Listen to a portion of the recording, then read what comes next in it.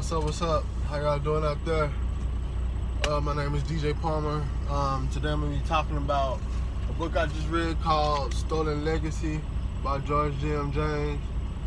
You can get that book on my website, uh, bookloverslounge.bigcartel.com. It's not going to be a long video. I'm just going to try to review the book the best I can. Um, yeah, bookloverslounge.bigcartel.com.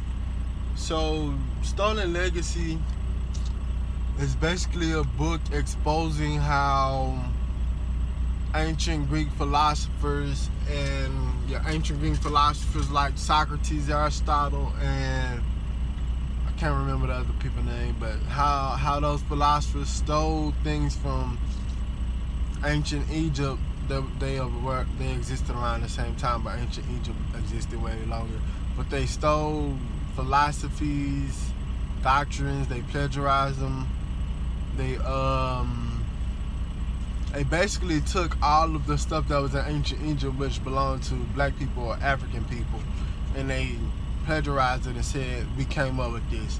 And in Stolen Legacy, George G.M. James basically dispels all the myths about how they came up with mathematics and philosophy about science uh, art, all kind of things. If you can think of it as educational, it came from us. So uh, that's basically what the whole book is about.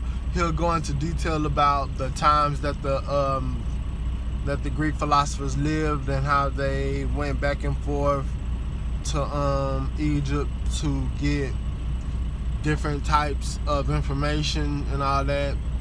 It'll go about, it'll talk about how for a long time, like they'll have where these people were born and then 20 years of their life would be missing in records. So that's something else to think about.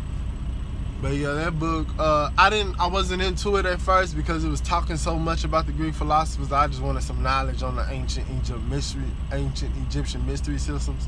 But it does go over there, like it'll just tell, tell you how, like, the things that we um that we came up with or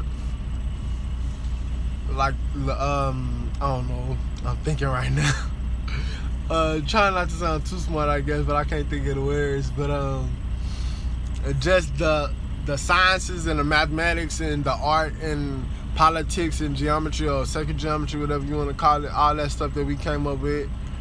And uh, it's in there, but it'll have it in the Greek philosophers' words, and then they'll say, hey, they got it from here. It'll dispel all that. So um, that's basically what it's about. It's a good book. I uh towards the end I got more into it, so I'm just recommending it for y'all. It's on my website, bookloverslounge.bigcartel.com. Um, y'all can check that out. Let me back up from the camera because I'm kind of close. I know my shirt ring I don't care. Um, yeah, check that out. Stolen Legacy by George G.M. James, and I'm out.